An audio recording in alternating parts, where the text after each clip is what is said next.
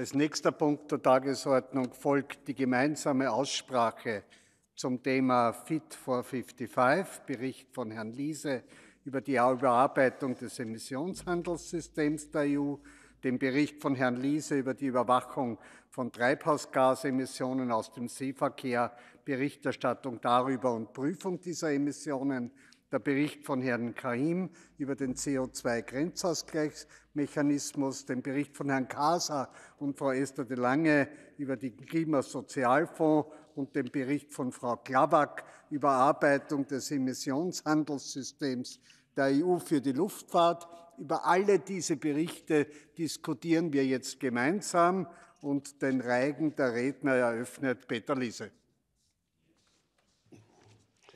Liebe Kolleginnen und Kollegen, am 14. Juli 2021 ereignete sich in Europa, auch in meinem Heimatland, eine fürchterliche Katastrophe.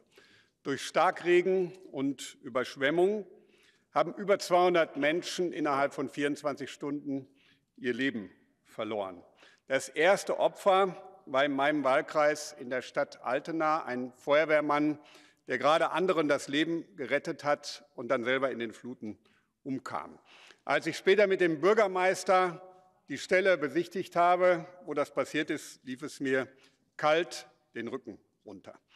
Diese Flutkatastrophe war eines der vielen Zeichen, dass der Klimawandel nicht mehr nur die Menschen auf den kleinen Inseln im Pazifik betrifft, sondern leider bei uns angekommen ist. Und deswegen müssen wir handeln. Deswegen war es auch gut, dass exakt an diesem Tag, am 14. Juli 2021, die Europäische Kommission das Fit for 55-Paket vorgestellt hat. Der Emissionshandel ist das Kernelement dieses Fit for 55-Pakets. Und alleine der ETS 1 bringt 25 Mal so viel CO2-Reduktion wie die umstrittene Regelung zum CO2-Ausstoß von PKWs für unser 2030-Ziel. Das Signal ist klar, alle, die sich für den Klimaschutz engagieren, Privatleute und Unternehmen, können ihre Ideen einbringen und werden profitieren. Auch den Seeverkehr haben wir nach vielen Diskussionen einbezogen. Aber es gab natürlich auch Herausforderungen im Verhandlungsprozess. Wir wollen die Arbeitsplätze in der Industrie erhalten. Wir wollen Europa nicht deindustrialisieren, sondern die europäische Industrie dekarbonisieren. Und nur so sind wir auch Vorbild für andere Teile der Welt. Deswegen brauchen wir Schutz vor Carbon Leakage. Und wir haben unter anderem einen Mechanismus eingeführt, der die Industrie, aber auch die Bürgerinnen und Bürger in den schwierigen Zeiten, in denen wir leben, wo wir auch russisches Gas teilweise durch Kohle ersetzen müssen, Luft zum Atmen gibt. Ich bin dankbar, dass weite Teile der Industrie den Prozess konstruktiv begleitet haben und am Ende jetzt auch zustimmen, obwohl wir insgesamt bis 2030 die Ambition sogar erhöht haben. Besonders energisch haben wir gestritten über das neue ETS 2 für Wärme- und Straßenverkehr. Viele haben es zunächst abgelehnt. Ich bin sehr, sehr dankbar, dass es uns gelungen ist, mit vielen aus der Wissenschaft, aus den Umweltverbänden und den Wirtschaftsverbänden einen Kompromiss hinzubekommen, der im Vergleich zum Kommissionsvorschlag sogar noch ambitionierter ist, weil er die Prozessemissionen mit einbezieht, der aber auch sozial ausgewogener ist als das, was ursprünglich auf dem Tisch lag. Wir haben einen Preisdeckelmechanismus beschlossen. Wir haben den Klimasozialfonds im Vergleich zum Rat deutlich erhöht. Und was noch viel wichtiger ist, wir haben eine Verpflichtung für die Mitgliedstaaten beschlossen, dass auch die anderen Mittel, die etwa doppelt so hoch sind wie der Klimasozialfonds, zielgerichtet ausgegeben werden müssen und soziale Aspekte dabei berücksichtigt werden müssen. Das war für mich insgesamt auch der größte Durchbruch. Auch beim ETS 1, die Mittel müssen zielgerichtet ausgegeben werden. Und ab morgen müssen wir dem Geld folgen und schauen, dass die Mitgliedstaaten das auch wirklich umsetzen. Finally, I want to thank all those who helped I cannot name them all, but I want to name a few. Sorry? Esther De Lange and uh, David Casa, rapporteurs for the Social Climate Fund. Of course, Mohammed, my shadow from S&D, and the rapporteur for CBAM, and Sunčana Glavak for the ETS aviation. But more important, a big thank you to our staff that worked tirelessly. I conclude, dear colleagues, many said we have crisis, it's no time for climate action. We proved them wrong. To get rid of the dependency from Russia and others, to keep the prices under control in the long term and to fight climate, we need to get rid of fossil fuels and the ETS is the main tool. Thank you very much. Danke vielmals, äh, Peter Liese. Nun ist der bereits bedankte nächste Berichterstatter am Wort, Mohammed Chahim. Thank The you, very, yours. Thank you very much, President. Uh, as the CBAM rapporteur, I am proud to be standing here, and I can say that it has not been an easy ride, but we've made it. At least, let's hope tomorrow we will vote in favor and that the Council sticks to the agreement. The Green Deal is at the heart of, the social of social democracy. Because it's not only about reaching our goal, it's also about the path towards this goal, leaving no one behind. And during the European electional, uh, electoral campaign, we promised to deliver on a social and ecological transition. And today, we take a major step in fulfilling our promise. I am proud of S&D. We have never walked away from the negotiations. We always took responsibility and did not hide behind any other political group. Dear President, I would like to thank my colleagues for the good cooperation, all of them, and the Secretariat of the Parliament, advisors and assistants for the outstand- outstanding work, and I thank the Czech presidency for rising above themselves. And let me not forget the Commission for providing us with the necessary information and being an honest broker. The agreement reached between the Parliament and Member States on ETS, CBAM, and the Social Climate Fund are historic. Historic because for the first time, sorry, because they will bring us to our 2030 climate target, as set in the climate law. Historic because for the first time, the highly polluting maritime sector is included. Historic because we will create a level playing field between EU producers and non-EU producers, and finally respecting the polluter pays principle. And historic because we will fund the energy transition for households and help them decrease their energy bill. ETS has been and will be the most efficient and cost-effective way to incentivize decarbonization. The system creates a clear framework under which our producers can distinguish themselves from bad or underperformers. For the first time in history, the free allowances, basically a right to pollute for free, will be conditioned and eventually phased out. Those companies that do not show progress and thus do not have the intention to decarbonize will have no future in the EU. And it sounds hard, but we have to be very clear about it. They should not abuse our subsidies and allowances because they, these limited funds should be used for others that do have the will to invest in clean technologies and help us keep the EU competitive. It is time to separate between the unwilling and the willing, between those with good intentions and those with bad intentions. And with the introduction of CBAM, this will also become applicable for producers outside the EU. You are still welcome to sell your products on the EU market, but we will stop the unfair competition compared to our producers. You will pay for your pollution at the border. And let me be very clear, we're not in it for the money. I don't care about the money. I really hope that the revenues of CBAM go to zero as quick as possible, because this means that producers outside the EU either already pay an equivalent CO2 price in their own region, or they became fully decarbonized. Let us start shaping the future of clean, of a clean, competitive EU industry today. Let us vote in favor of these legislative files. Thank you very much, Chair. Ďakujem veľmi pekne a ďalší vystúpi spravodajca pán David Casa. Prosím, máte slovo. Grazzi, Sur President. Dan id-dibattitu se jintem b'vot storiku il għaliex it-tibdil fil-klima huwa fost l-akbar sfidi għall-umanità u allura jirrikjedi ambizzjoni kbira. Il-Parlament Ewropew kien obbligat jaġixxi u kellu jaraf dawn l-isfidi kollha u joffri soluzzjoni aċċettabbli u effettiva b'risposta liċ-ċittadini, lill-gvernijiet u lill-komunità internazzjonali. Dawn l-sfidi indirizzajnijom u bil-votti għawada dan il-Parlament jista' jala proċess li dam sena u nofs. Sur President, Fuq il-mejda għanna ftehim li jindirizza aspetti importanti għall-industrija Ewropea, li jindirizza aspetti importanti soċjali u fuq kollox li jżomm l-ambizzjoni biex niġġieldu l-effetti tat-tibdil tal-klima. U kif nafu l-effetti mhumiex biss ambjentali. Bħalma il-pandemija ma kienx biss marda medika, imma ġabet magħha sintomi soċjali, Ekku kol it-tibdil tal-klima kapaċi ġib mal-temp għal-familji tagħna, għal-ħaddiema tagħna, għall-iżar intraprizi tagħna, dawk illi aħna nqisu bħala issisin tas-soċjetà tal-ekonomija Ewropea. Infakkar illi jekk il-pandemija affettwat lil kulħadd, mhux kulħadd intlaqat xorta.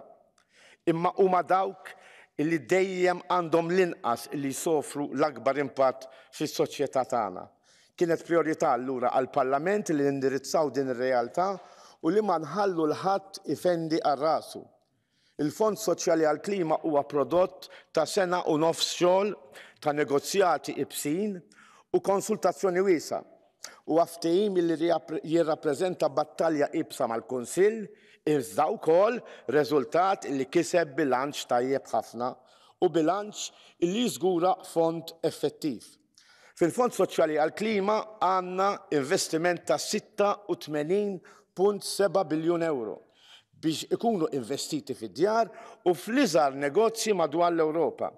Se naraw investimenti fit-tul pal solar panels, insolazzjoni aħjar u aktar effiċjenza fl-enerġija, se naraw trasport aktar sostenibli, investimenti li jibqaw rendu il-benefiċċji għal-ċittadini tagħna, li jaqtaw il-konsum tal-enerġija, li jaqtaw l-emissjonijiet u t-nġis u li jaqtaw ukoll il-kontijiet tad-dawl.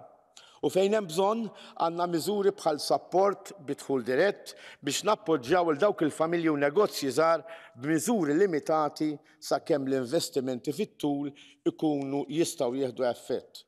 Iva, kontent li rnexxilna insaħħu l-involviment tal-inħsieba soċjali.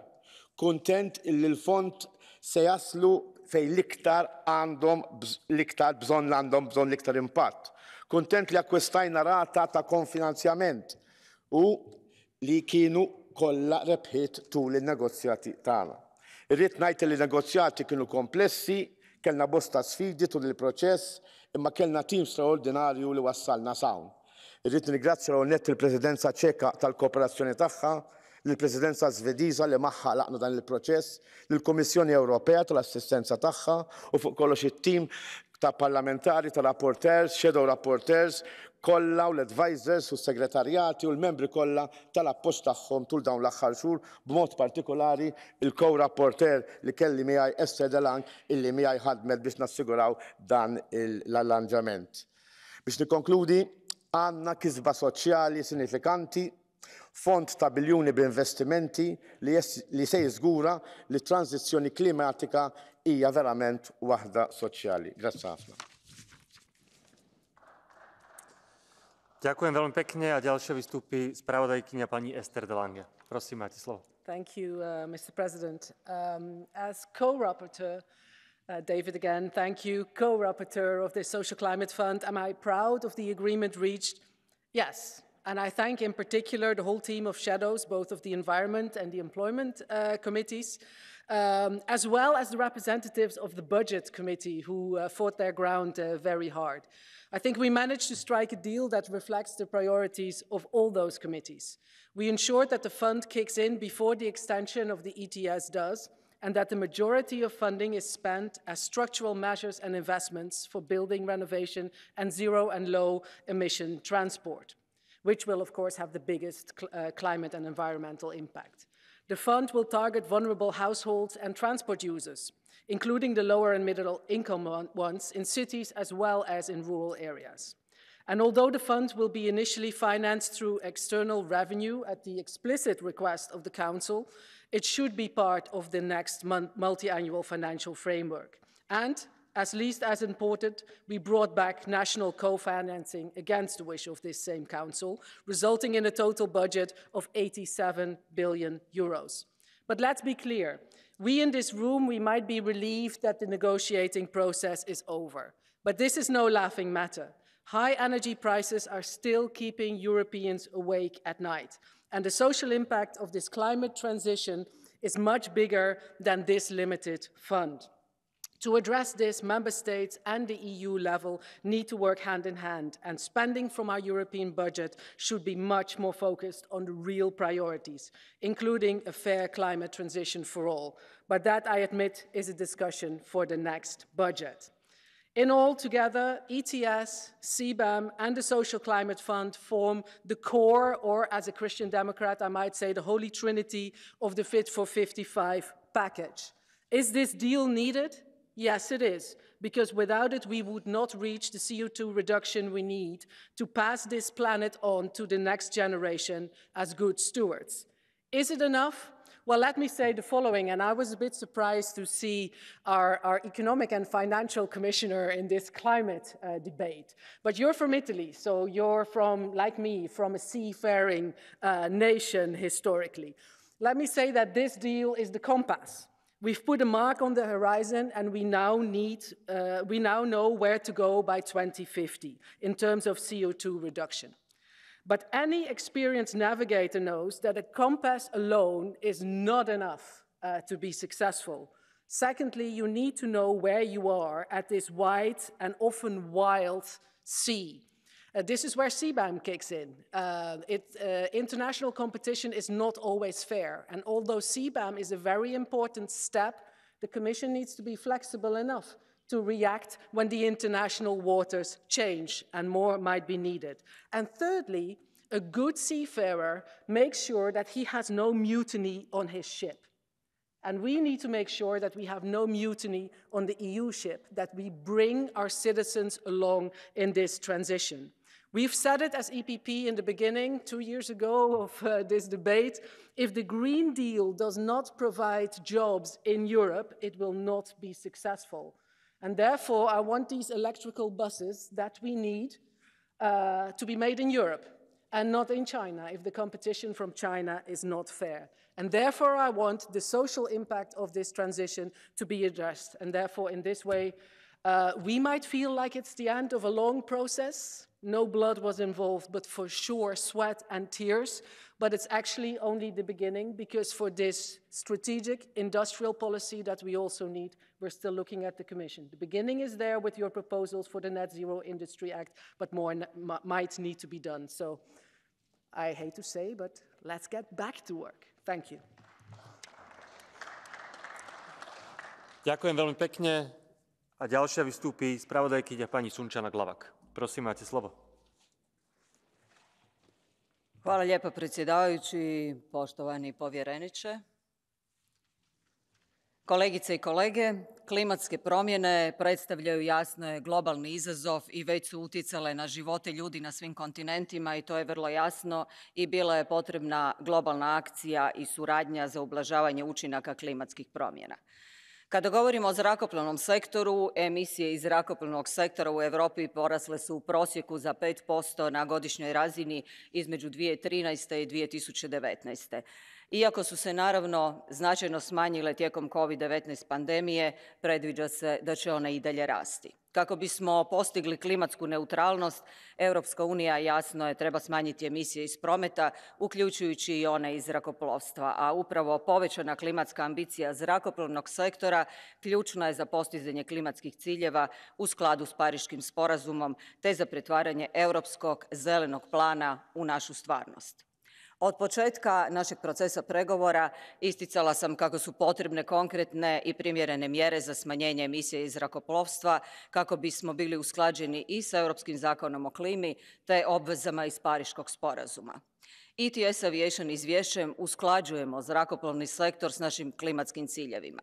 Međutim, unutar tog procesa prioritet je bio i ponuditi rješenja za dekarbonizaciju sektora. Svima nam je jasno da se moramo usredotočiti na naše klimatske ciljeve, ali jednako tako ne možemo dozvoliti da industrija podnese sav taj teret. Moramo se usmjeriti na očuvanje mobilnosti i naše industrije.